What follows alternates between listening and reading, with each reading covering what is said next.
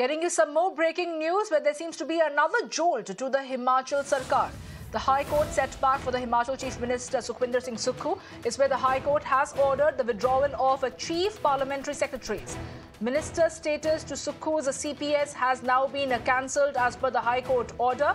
The High Court has ordered the withdrawal of their privileges. Remember earlier the Congress party had appointed six CPSs. Well, that is the big breaking news that we're getting you at this point in time as the High Court ordered the withdrawal of a chief parliamentary secretaries. It's going to be a big setback for the Sukhu government in Himachal Pradesh.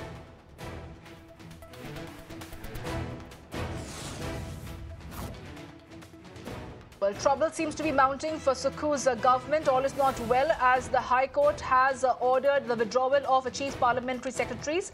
Remember, the minister's status to Sukhu's uh, CPS now stands cancelled as per the High Court order since uh, their privileges have been withdrawn. Remember, earlier the Congress party had appointed six CPSs in Himachal Pradesh, and now, of course, there's trouble brewing for the Himachal Sarkar with the new High Court order.